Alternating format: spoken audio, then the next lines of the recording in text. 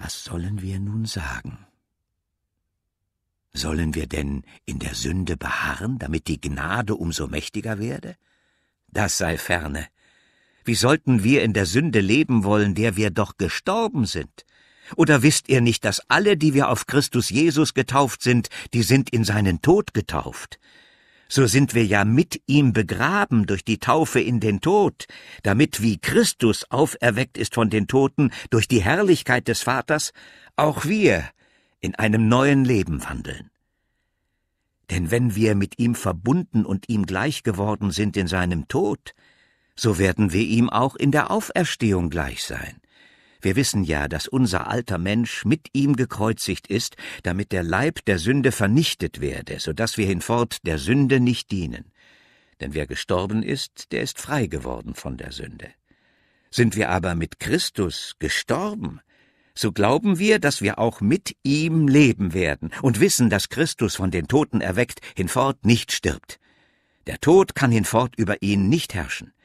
Denn was er gestorben ist, das ist er der Sünde gestorben, ein für allemal. Was er aber lebt, das lebt er Gott. So auch ihr.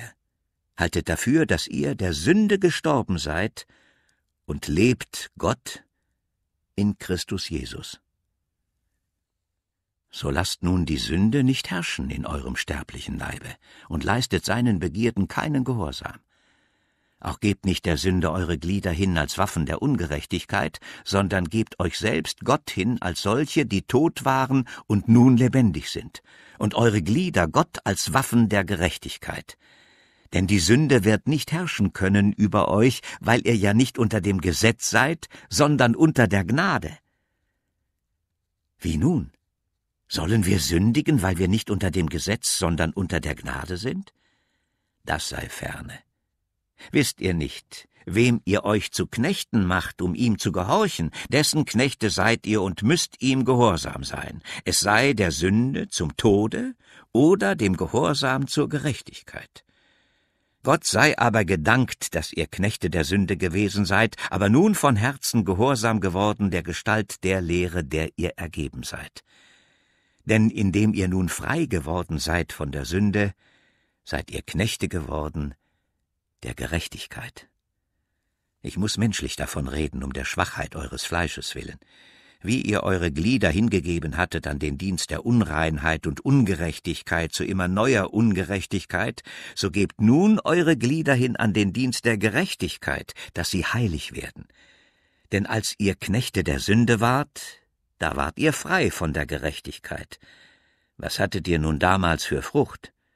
Solche, deren ihr euch jetzt schämt denn das Ende derselben ist der Tod.